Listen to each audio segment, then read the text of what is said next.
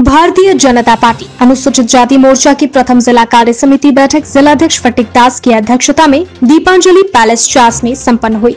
कार्यक्रम का संचालन मुकेश बाउरी व धन्यवाद ज्ञापन किशोर बाउरी जी ने किया।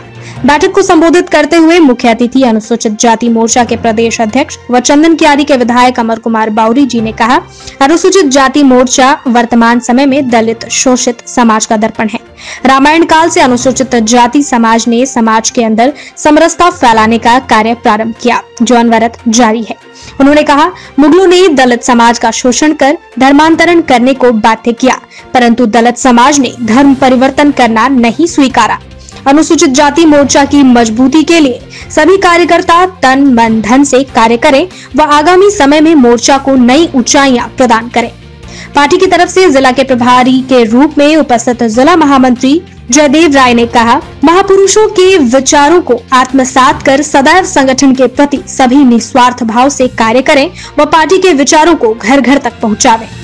पूर्व जिला अध्यक्ष श्री रोहित लाल सिंह जी ने मोर्चा की सक्रियता की तारीफ़ करते हुए अपनी शुभकामनाएँ प्रेषित की।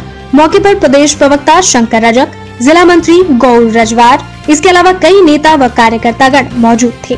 बोकारो से विजय आनंद की रिपोर्ट। मोर्चा बोकारो ज़िले की प्रथम कार्य समिति की बैठक संपन्न हो रही है, फटीक दास जी के नेतृत्व में जिलाध्यक्ष के नेतृत्व और एक सफल कार्य समिति है, भारतीय जनता पार्टी के विचारों को निचले स्तर तक ले जाना, अंतिम व्यक्ति तक ले जाना और इस कार्यक्रम के माध्यम से कैसे हम अपने अनुसूचित वर्ग के बीच में नेतृत्व पैदा करें और उनके समस्याओं को दुनिया के सामने लेकर के या फिर उनके लिए संघर्ष करें।